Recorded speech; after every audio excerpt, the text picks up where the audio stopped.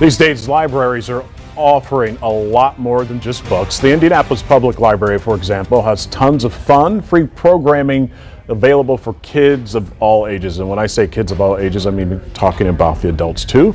Shael Weidenbach and Keshia McEntire with the Indianapolis Public Library both joined me this morning. Shael, good to see you. Keshia, good to see you. Thank Appreciate you you coming on.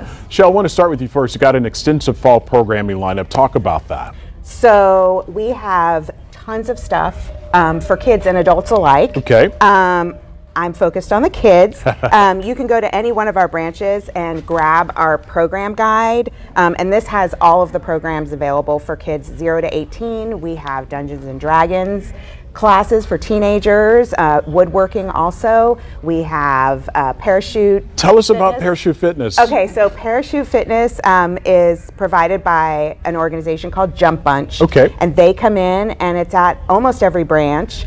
Um, and uh, you play with a parachute. I mean, what more can be? It's so fun.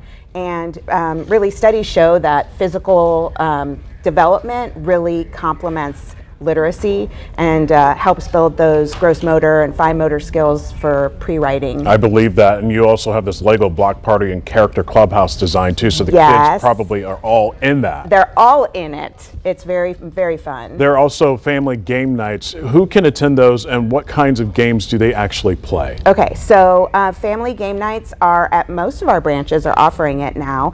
Um, they have a selection of board games, uh, lots of newer ones. We also partnered with the Spiel Foundation, and they just sent every branch a new set of games Oh, cool. um, to try. So uh, there are all kinds of games from competitive to non-competitive, and really help build those relationships and conversations. Makes sense. Keshia, how do these events support literacy development?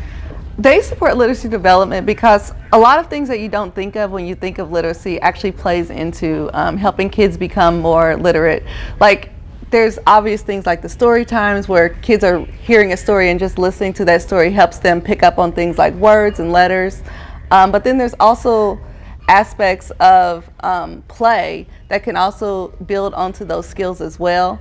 Um, and a lot of our programs that we have tie into different st- priorities, strategic priorities that we have, including financial literacy, including um, digital literacy, and things of that nature. So um, kids might take part in parachute class, like she was mentioning, but that also ties into our health and wellness priority. Right. Or they might take part in um, a class where they're learning to design a clubhouse, and that's teaching them some architecture skills, but it's also tying into things of the nature of like um, learning that new new skills and new educational tools. So it's really helpful. That's something that potentially they will take away from these programs. yeah, so it might like spark a new interest and get them to be like, hey, I really like building stuff, or hey, I really like um, working with my hands and creating art. So then they'll take that forward and try new things. That's awesome. Before we go, I want to talk to you about the Pause to Read program and the Graphic Novel Book Club. Okay,